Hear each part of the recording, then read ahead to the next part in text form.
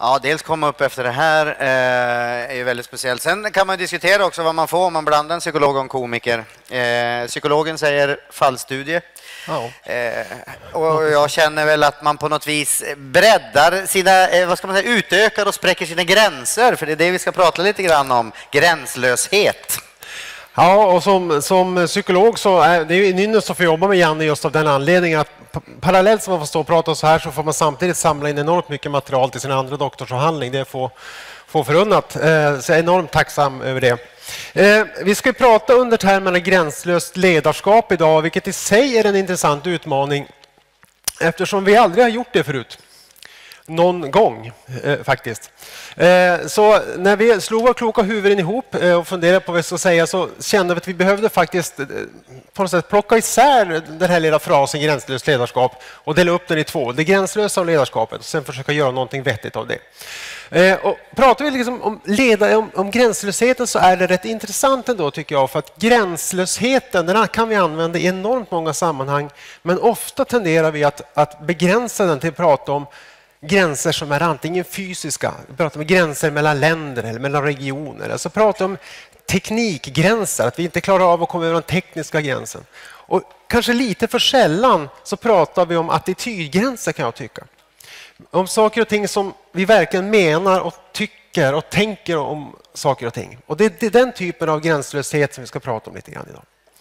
När det gäller ledarskap så är det också så väldigt lätt att vi pratar om ledarskap i termer av chefer eller ledare, att vi försöker personifiera ledarskapet. Men ledarskapet är för oss, åtminstone för oss som står här på scenen, så mycket annat. Det handlar om att ta ledningen lika mycket. Det vill säga att driva framåt och kanske driva någonting annat än vad vi är vana att folk driver. Och det är den utgångspunkten som vi tänkte prata om när det gäller ledarskapet. Och de här två sakerna tillsammans ska bli det gränslösa ledarskapet. Så vi får se vart det tar vägen. Eh, och vi upptäckte just eh, att vi tog ledningen, det kan låta kaxigt att säga så, men eh, vi slog som sagt våra kloka huvuden ihop. Eh, ingen egentligen gemensam grund från början till synes, förutom att vi hejar på Björklöven bägge två. Eh, alltid något. Eh, precis, ursäkta Skellefteåborna som sitter runt eh, hörnet, men vi är inte konkurrenter än så länge. Vi tar det lite lugnare och väntar, om man säger så.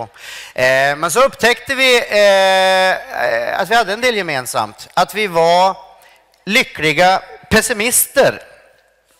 Och på så vis, vi skrev en bok, den finns där, eh, då upptäckte vi att där bröt vi gränser, vi bröt normen, vi bröt mot sanningen. Eftersom vi vågar säga att vi är lyckliga och pessimister. Något som, eh, en, en mening som nästan aldrig har uttalats när vi börjar forska kring det här. Nej, för det är intressant om man börjar fundera kring det här med optimism och tänka positivt. Så finns det faktiskt en sanning idag som säger att en förutsättning för att man ska bli lycklig är att man är optimistisk och tänker positivt. Eller hur? Ja, med många nickande huvuden. Vi ska återkomma till er som nickade så småningom. Eh, och det intressanta är att är det någon som har skärskådat den här sanningen? Är det någon som faktiskt har ifrågasatt det faktum att det här skulle kunna vara totalt felaktigt? Och när vi börjar titta på det här så visar det sig att det finns ingen som har gjort det. Inte, åtminstone inte systematiskt. Och börjar man dessutom titta tillbaka lite grann på när kom den här tanken om det positiva tänkandet? Jo, det var ganska länge sedan, det var ungefär 30 år sedan. Då var det en kvinna uppe i Boden, av alla ställen, Ingalill Enbom, som kallar sig för den första svenska optimistkonsulten. Och all heder åt Ingalill, för kommer man från Boden och kallar sig optimist, då menar man allvar. Man brukar säga. Jag är ju från Norrbotten själv ursprungligen, så jag vet vad jag talar om. Eh, det intressanta är att den trenden som startade, det kommer från USA förstås och så kom den över till, över till Sverige. Trenden brukar gå, gå över efter fem sex år. Då brukar börja de droppa av lite grann. Men inte optimisttrenden. Den, den, den, den levde vidare. Och det lever än idag. Så idag så har det vuxit upp massa barn till de som drev optimisttanken på 80-talet och vuxit upp eh, och, blivit hyperoptimister hela tiden. Allihopa. Och det är väl det vi tittar lite grann på, eh, det, som har blivit en, en ytlig eh, optimism helt enkelt. Att du- ska ge 110 procent, du ska sikta mot stjärnorna. Inget av detta, ingenting är omöjligt, säger de också. Det är jättemycket saker som är omöjliga, jag vet inte om ni känner till det. Och 110 procent, jag är inte så duktig på matte, men det finns inte. Eh, och eh, en lycklig pessimist, vi vill bli lika lyckliga som optimisterna, men vi, eh, vi är lite annorlunda. Dels så har vi ett, ett norrlän, en norrländsk bakgrund och jag tror det finns lite grann i, i, jag vet inte vad, i grundvattennivån eller någonting, att, vi får, att man ska häva sig för mycket. Alltså att man frågar, hur mår Anna-Lisa? Ja, hon lev. Hon ligger på plus. Mm. Hur var maten? Ja, den var inte äcklig. Nej, helt okej. Okay. Att det finns någonstans det här att ja, men man ska inte framhäva sig för mycket. Och, och, eh, och det är samma sak, en lycklig pessimism. Man kan säga att vi, vi har två huvudregler kring en, eh, en, en lycklig pessimist. Dels ska man inte ha så höga förväntningar. Vi tror inte att vi ska vinna Idol. Alltså, vi hittade när vi skrev boken också folk som eh, slutade skolan och hoppade av jobbet när de skulle söka till Idol. Inte för att de hade vunnit, de skulle söka. Titta på Lyxfällan och lite de här som ska bli miljonärer för de ska börja blogga. Eh, men de ska inte arbeta särskilt mycket utan vi bloggar en gång i veckan och så blir jag miljonär. Eh, och så sen var det eh, just det här att, att vi är en lycklig pessimist är förberedd på att skit kommer att hända. Det kommer inte att vara en rutschkana upp till de här stjärnorna som du seglat. Troligtvis så blir det ett fartgupp eller två till och med. Och då gäller det att ha de verktygen och vara förberedd. Och det, det är kortfattat kan man säga är, är lycklig pessimism. Och det intressanta är ju då, vad händer när vi börjar prata om det här budskapet? Boken som jag skrivit det är en hyfsat humoristisk bok med allvarlig underton eller en väldigt allvarlig bok som är skriven lite lättsam. Ni får välja själv. Eh, men vad händer?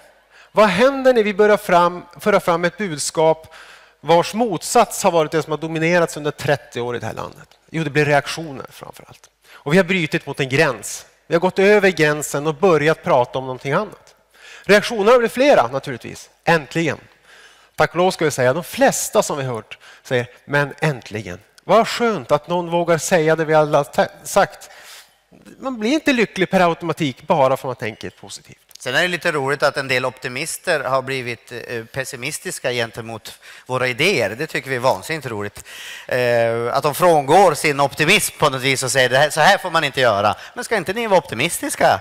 Det här är väl trevligt att få lite mothugg för en gångs skull istället för det här ytliga. Nej, de är lite speciella här. Vi har till och med kollegor i talarbranschen som har uppmanat uppdragsgivare. Ni får ju inte anlita de här, de sänker ju hela branschen. För att vi, visst är det spännande? Och då känner vi på något sätt vi har brutit mot gränsen som verkligen behövde brytas mot. En sanning som alltid har funnits där. Och det här tycker vi är så jätteroligt att se de här reaktionerna hos människor när man bryter den här begreppsgränsen som vi gör. Inte en fysisk gräns, inte en, en, teknisk gräns, utan en gräns där vi faktiskt har en åsikt om någonting som folk tvingas helt plötsligt reflektera mot. Fundera på vad har jag tänkt? Hur har jag tänkt i 30 år? Har jag gjort det här per automatik och bara utgått från någonting? Och det här tycker vi är jättespännande att få de här reaktionerna. Mm. Men vi vill ju kolla med då lite grann Eh, så vi, vi har tänkt slänga, slänga ut en sån här webbfråga. Eh, Nico, är du på hugget? Eh, eh, lite grann, så vi får, får väl upp det på skärmen. Och frågan är egentligen, är du optimist eller är du pessimist? Eh, tanken. Eh, så rösta, eh, får vi se hur det ser ut. Hur ni ligger till. Kolla där. Ja, det, eh, vi, det, hade vi inte räknat med, eh, säger den lyckliga pessimisten. Nu stiger optimisterna. Ja, jaha, det, nu, börjar, nu är det några som tvekar. Nej, optimisterna kommer där starkt, backar. Ja, ser du? Nu, Kolla, det, det gungar fram och tillbaka. Ja, men det är lugnt. Jag tror inte Lennart Holmbrand har hittat knapparna än, så snart kommer pessimisterna öka. Jag trycker flera äh, gånger. Sådär. Ja, okej. Okay. Ja, men vad bra. Vi ser att det här 70-30. Och då, då, är det så att er som, som eh, är pessimister, vi, vi bugar och bockar och inser att det är ni som är eh, de san, riktiga sanningssägarna, de vederhäftiga i den här lokalen och överallt eh, annars. För vi var så otroligt lyckliga över att upptäcka att när vi skrev den här boken också, att vi alla är, alltså ingen är en optimist. Den, den finns inte eh, per definition, för vi är alla lite tveksamma. Mm. Jag vet inte hur många här inne som har en försäkring. Hemförsäkring någon? Skadeförsäkring, livförsäkring. Ja, varför då? Ja, otroligt pessimistiskt. Ska det, ska det, det ska inte brinna hos er? Det är värdelöst. Ja. Säkerhetsbälte, är det någon som har det när ni kör bil? Mm. Ni ska väl inte krocka? Nej, Nej cykelhjälm. Helt onödigt. Så ser ni åker omkring och är smygpessimister, de flesta av er. Så att egentligen borde vi testa om det här för att se om de fattar det här, men vi orkar inte göra det nu. Se vad staplarna hamnar Har ni tänkt på hur många gånger också man tar med sig ett paraply för säkerhets skull? Eller så tänker man, jag tar ett paraply för tar jag med mig det så börjar det inte regna. Mm. Och ni som skrattar, det är ni som gör det. Eh, det. Och ni är mer än 70 procent. Eller 33 procent. ja, så, så ni ser, ni är smygpessimister allihop. Och det är det här som jag tror är jätteintressant. För att vi utgår också från den här, eh, det här svartvita tänkandet. Så antingen är vi det ena eller så är vi det andra. Men i själva verket så visar det sig, det är klart vi är, jag och Janne är ju lite smygoptimister också. Vi var ju väldigt optimistiska över att, att vi trodde vi skulle få ett fint hotellrum här på Grand. Sviten? Vi fick bara... så. Nej, skämt åsido. Eh, alla är pessimister, alla är lite optimister och det finns inte de här svartvita. Och det är naturligtvis också så att det finns lyckliga optimister och det finns olyckliga optimister. Det finns lyckliga pessimister och det finns olyckliga optimister. Och det är just den här sanningen som säger att det är optimisterna som är lyckliga och pessimisterna som är olyckliga som vi vill få er att vakna till och få läsa den här boken och andra som hör nu på mantrat om den lyckliga pessimisten att faktiskt förstå. Och det lyckliga ligger ju i att eh, jag som artist har jobbat som ståuppkomiker sedan eh, mm, heltid 91 eh, kan man säga. Jag har alltid mått lite illa över att få de här översvallande introduktionerna, alltså när man ska kliva upp på scenen. Här kommer han! Sveriges roligaste. Ni kommer att skratta så ni kissar på er. Han är på väg att göra Las Vegas-show. Han är värd tre gånger pengarna. Och ni kommer att skratta, ni kommer att dö. Det, det kommer ni aldrig att glömma. Ni kommer att skriva böcker om den här föreställningen. Och så får man kliva upp till det. Hej, det är bara jag. Jag vet inte vem de där pratar om. Alltså jag har alltid velat ha den här presentationen. Här kommer Janne Bylund. Det blir nog roligt. Det är lagom. För då får jag bevisa det. Jag vill ju inte ha Nobelpriset först och sen bota ebola, liksom. Det, för det är det det handlar om. Och, eh, och, och, det här med förväntningar är ju en jätteviktig sak också. Titta, oavsett vilken samhällssektor vi pratar om så är förväntningarna någonting som styr oss enormt mycket. Det är inte hur det går för företagen som är intressant, det är vilka förväntningar marknaden har på hur det ska gå för företagen. Så förväntningar spelar mycket större roll än vad vi tror i våra liv. Från det, på det lilla mikronivåt upp på, på en makro och global nivå. För mig är det ofta mikronivå eh, förväntningar. Jag, kan säga, jag har förväntningar på dagen så att jag vaknar på morgonen. Oj! Check! Det blir en bra dag. Eh, och så tittar jag åt höger och så ligger min fru Malin där kvar. Hon har inte lämnat mig. Va? Det är helt fantastiskt, det kan inte bli bättre än så här. Där sätter jag förväntningarna. Och Det innebär att jag blir positivt överraskad mer än vad jag blir besviken. Så tänk på det, sätt förväntningarna på rätt nivå. Optimisterna som räknar med att vinna Idol och eh, bli miljonär för att de blir bloggerska, de blir ju missnöjda varje dag. Vi blir lyckliga varje dag. Sen det här med gränslösheten också, bara för att vi gör den här föreställningen så, eh, så tänjer vi på våra respektive gränser också. För i och med att det, jag, är ju, jag är ju en pajas till kaffet. Det är ju min yrkestitel om man ska hårdra det. Och Francesca kommer ihåg, för du var med i början. Eh, tror inte att du kommer undan. Jag har sett dig. Ja, precis. Västermans bar, Gamla stan, Oh my god, jag, jag minne som en gammal häst. Jag kommer ihåg alla som har prövat och som kände, nej, jag gör något annat. Ja, precis.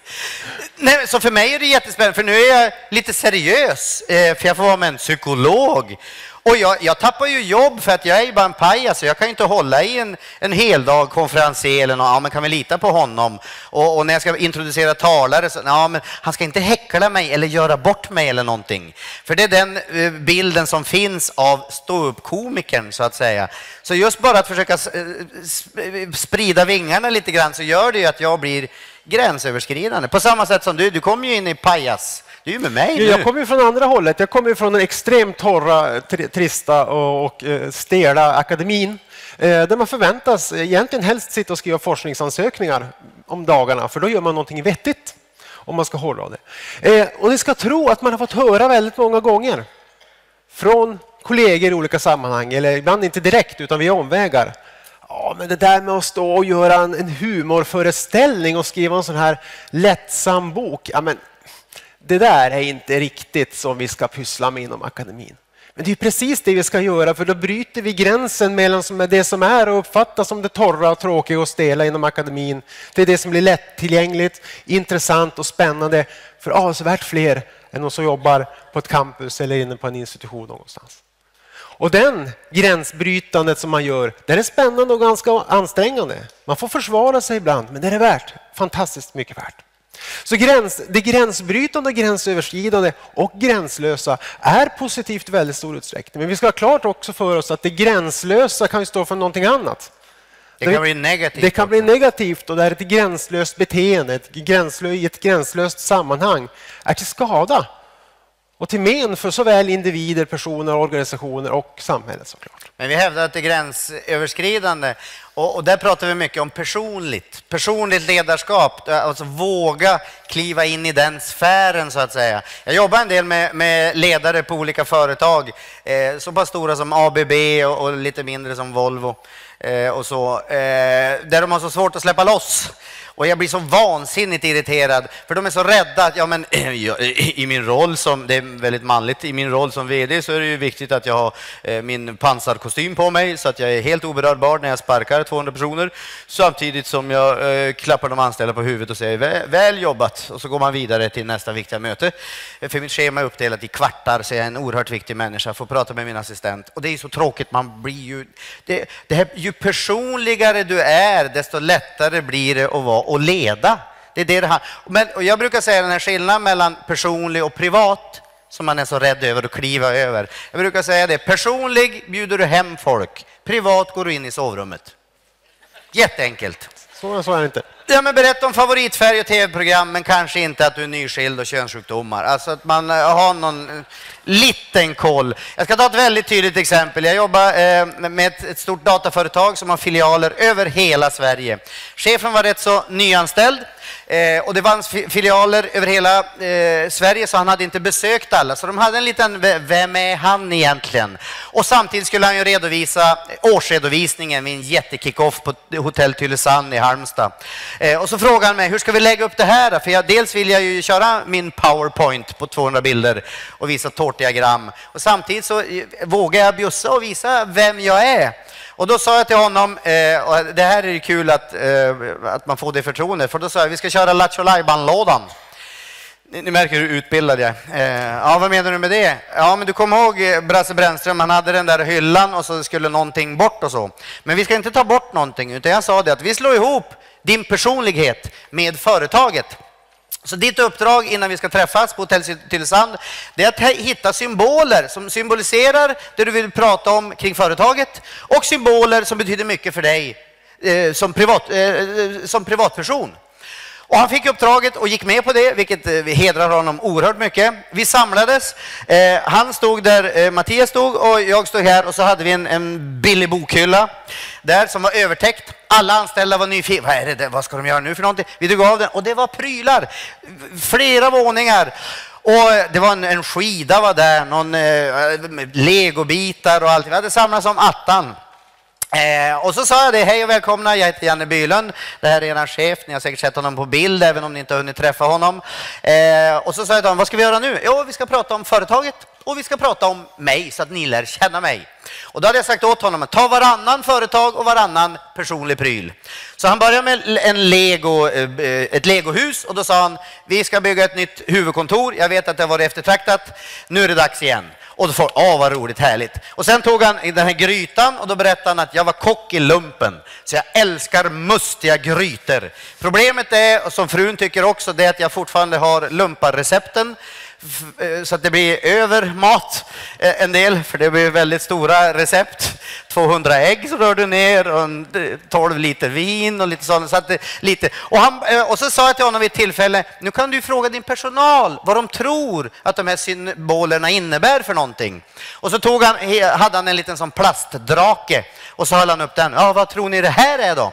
Och då var det givetvis någon göteborgare. Ja, det är frun! Nej, eh, sa han, det är konkurrenterna. De blåser liv i baken på oss. Vi måste hela tiden eh, akta oss för draken som kommer där, så vi måste hela tiden. Och så gick han igenom eh, allt som han hade där. Han älskar att åka skidor och lite sånt. Så han var en trevlig människa, trots sörlänning. Och så längst upp så låg det en, en katt, en tygkatt. Och den hade vi sparat till sist och det hade jag sagt åt honom, den sparar vi. Och för då sa jag till honom, vad är det där? Som om inte jag visste det. Ja, det är en, en katt. Och då hade jag instruerat honom, han tog ner katten och så ställde han sig lite närmare sin personal och så strök han den här katten som om den var på riktigt. Och så sa han, ja den här katten den symboliserar, när jag och min fru träffades så pluggade vi på universitet bägge två. Han läste något data och hon läste humaniora. Eh, kan ni tänka er fördomsfullt. Eh, men vi hade ju tentor och olika, så att vi sprang ut ur den här eh, eh, studentlägenheten. Så vi tänkte att vi vill ha en katt som tar emot oss. Att även om någon inte är hemma av oss så, så finns katten. Den blev som en familjemedlem eh, sa han. Men vi vill inte ha fler katta, katter så att vi, vi, vi gav katten eh, piller så att det inte skulle bli mer barn och så.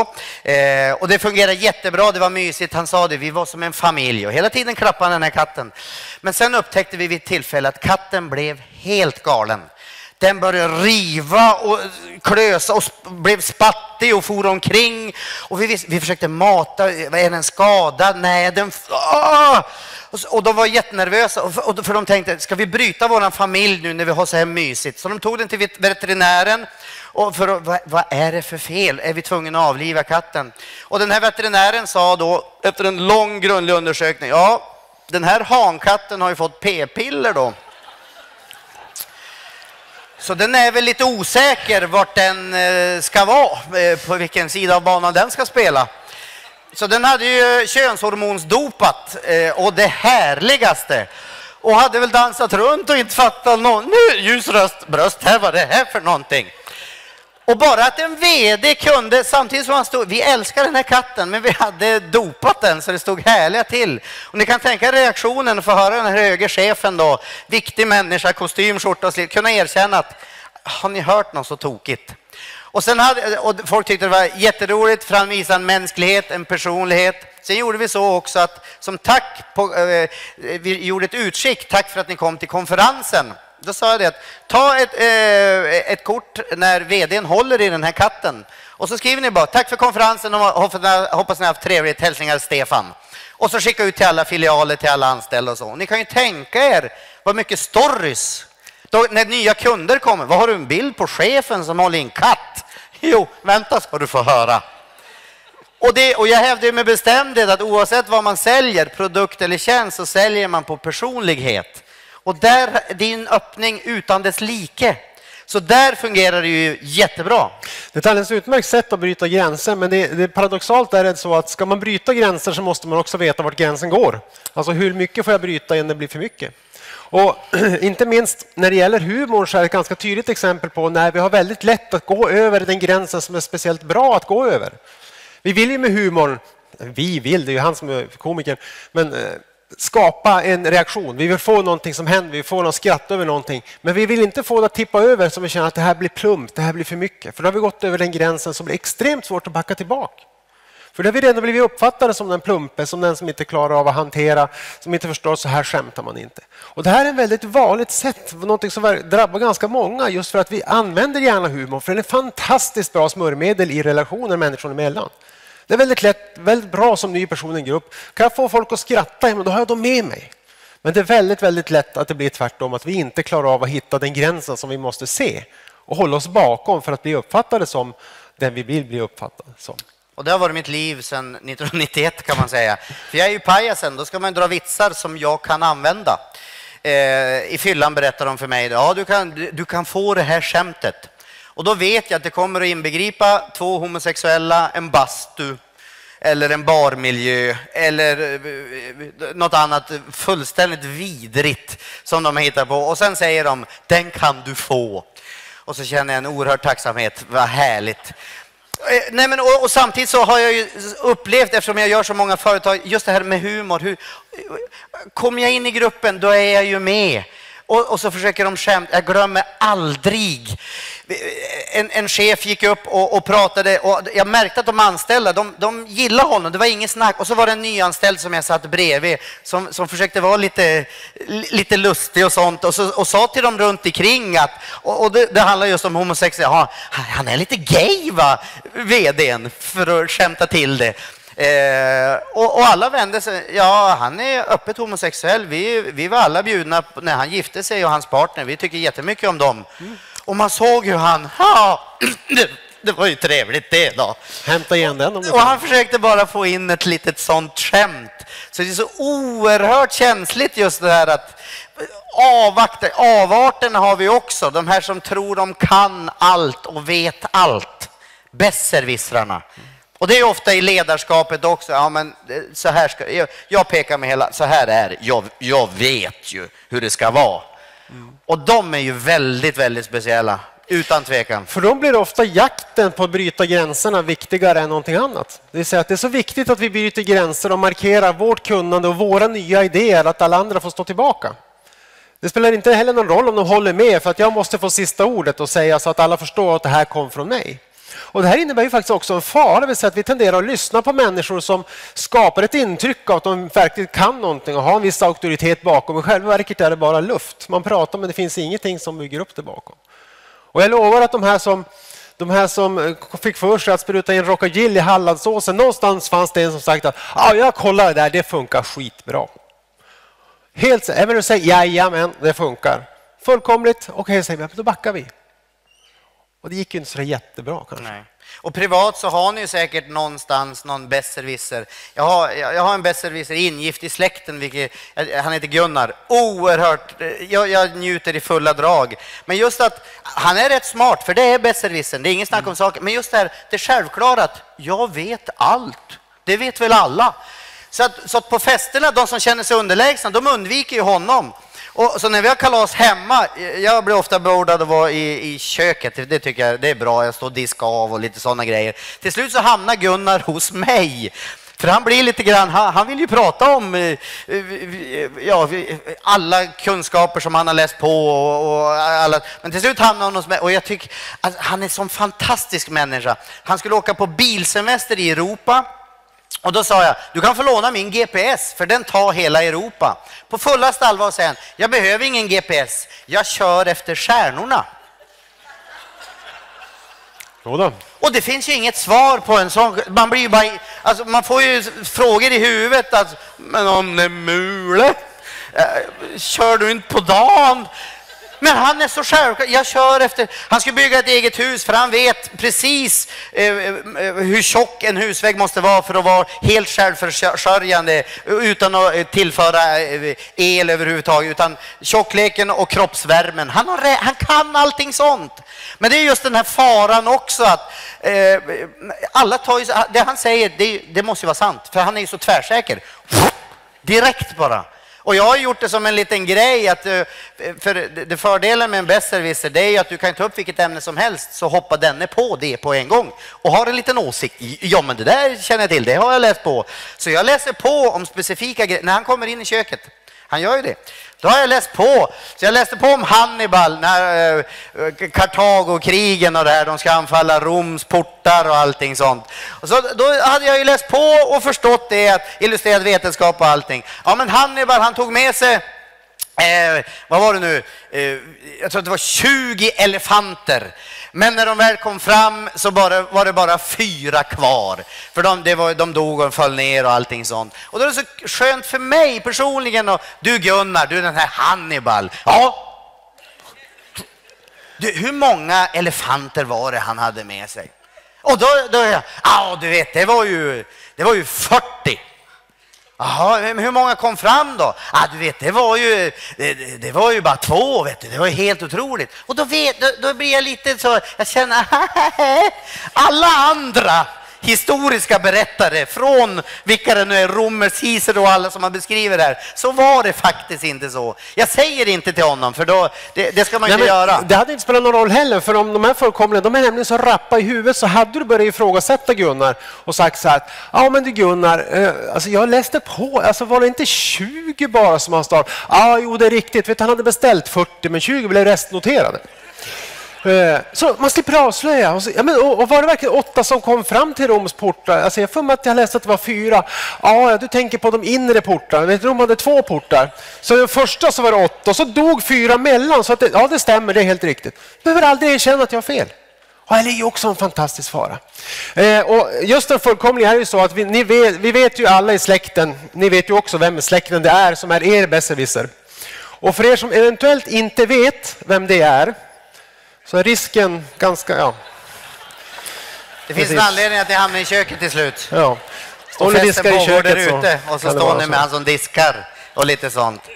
Så det finns både fara, eh, men, men framförallt mycket fördel med det gränslösa. Just att våga. Och det stora klivet vi tycker man ska göra, det är att våga vara lite mer personlig. Att, att, att hitta lyckan i det egna jaget. Att ja, men det här är jag, det spelar väl ingen roll. Jag, jag pratar en hel del om, om det också. Jag blev så lycklig när jag fick upp, jag bor i Göteborg eh, tyvärr då, eh, men så fick jag uppträda när de har ett hockeylag där nere.